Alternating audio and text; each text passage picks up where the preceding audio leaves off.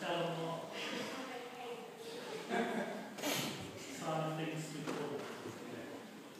You're all welcome to St John's today. It's lovely to see you all.